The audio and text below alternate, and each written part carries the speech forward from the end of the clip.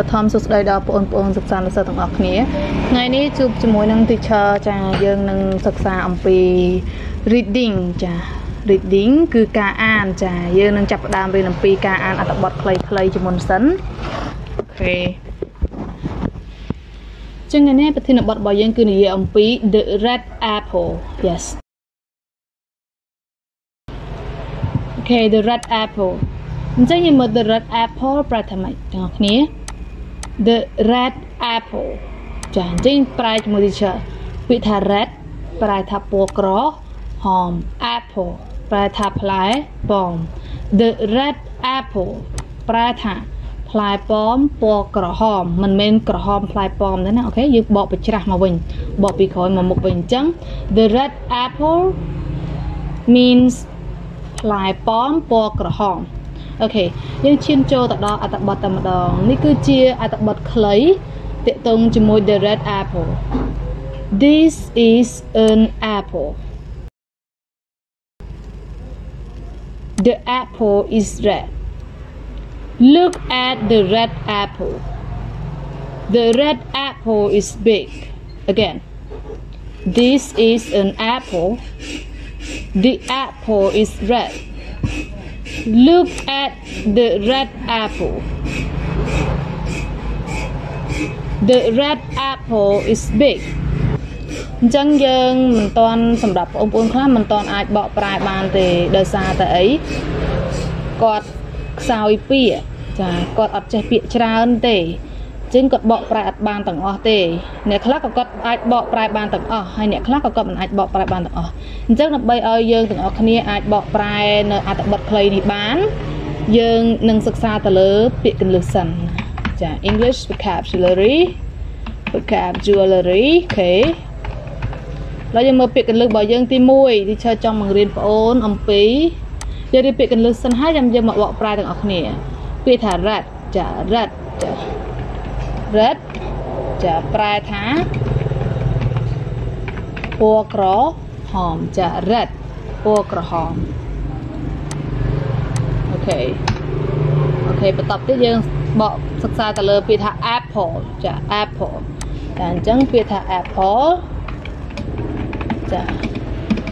ប្រែថាពណ៌ក្រហមចា apple ពណ៌ក្រហម apple ពណ៌ក្រហម this is okay ចា this is T H I S I S ប្រែថានេះគឺគឺជាចាអឺនអឺឬអឺនចាអឺឬអឺនេះប្រែថាមួយចាវាជាចំនួនចាវាជាចំនួនអូខេ1 អូខេ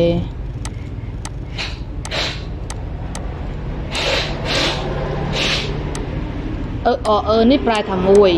អទៀត apple ម្ដងហើយប្រែថាផ្លែប៉ោម apple is red ចាចុះ is is ប្រែថាម៉េច is ហ្នឹង is ហ្នឹង is នេះវាគឺជា to be ប្រែថាគឺឬគឺជាចាគឺឬគឺជា is ហ៎មើលទៀត look at ចាពាក្យថា look at គេដឹងហើយ red apple ផ្លែប៉ោមពណ៌ក្រហមចុះពាក្យ look at ចា look at អូខេ look at គឺជា phrasal verb ប្រែថាមើលទៅឬក៏មើលអាចាមើលទៅមើល look at me មើលមកខ្ញុំចាអូខេ look at the red apple is big red apple is big អូខេឥឡូវយើងរៀនអំពី big ចាពាក្យថ្មីគឺ big b i g ចា b i g តែពាក្យជាគុណនាមប្រែថាធំអូខេ big ធំ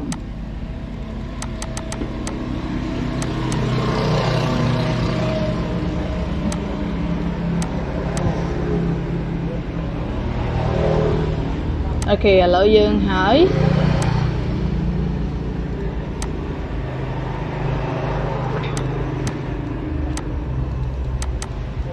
អូខេតោះឥឡូវយើងមកមើលពាក្យកន្លឹះជាមួយនឹង teacher យើងរៀនអំពីពាក្យកន្លឹះសិនតោះ again vocabulary vocabulary red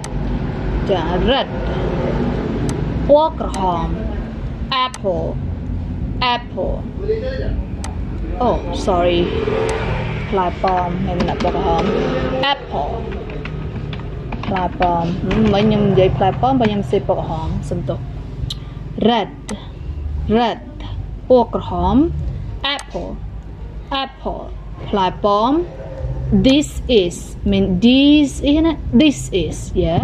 this is is used to indicate or point to something or person that is near us ចាអញ្ចឹង this is គេប្រើប្រាស់ដើម្បីចង្អុលបង្ហាញពីរបស់អ្វីមួយឬក៏មនុស្សម្នាក់ដែលនៅជិតយើងនេះគឺជា a or earn គឺជាចំនួនឯកតាប្រែថាមួយ is គឺឬគឺជា look at look at ចា look at មើលទៅឬមើលឯចា big អូខេ big ធំ apple a red apple this is a or an is look at big okay now translate with me this is an apple this is an apple ឥឡូវយើងមើលពាក្យ this is ប្រែថា នេះគឺជា earn ប្រែថា1 apple ប្រែថាផ្លែផ្លែប៉ោមអញ្ចឹង this is an apple នេះគឺជាផ្លែប៉ោមមួយផ្លែ the apple okay the apple is red the apple is red okay apple you know apple ផ្លែប៉ោម is is គឺឬគឺជា red ពណ៌ក្រហម so the apple is red ចាផ្លែប៉ោមគឺពណ៌ក្រហម look at the red apple look at the red apple okay you see that the word look at ចា look at ប្រែថាមើលមើលទៅ red apple ផ្លែប៉ោមពណ៌ក្រហម Look at the red apple មើលទៅផ្លែប៉ោមពណ៌ក្រក្រហមចាផ្លែប៉ោមពណ៌ក្រហមមែន The red apple is big okay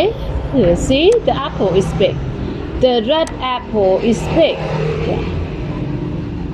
The red apple is big ផ្លែប៉ោមពណ៌ក្រហមគឺ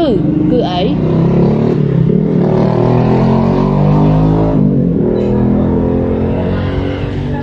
big គេ big big ធំអញ្ចឹង the red apple is big ផ្លែប៉ោមពណ៌ក្រហមគឺគឺធំចាចានេះគឺជាមេរៀនរបស់យើងសម្រាប់ថ្ងៃនេះគឺយើងចាប់តាមរៀនអំពី reading ផងដែរចា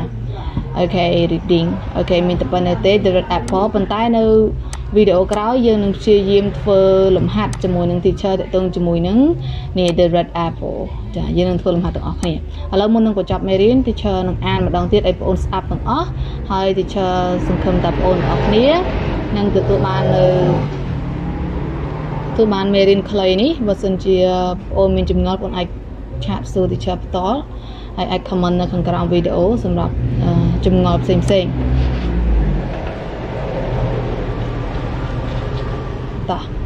The red apple. This is an apple. The apple is red. Look at the red apple. The red apple is big. Vocabulary red apple. This is a or an is look at big okay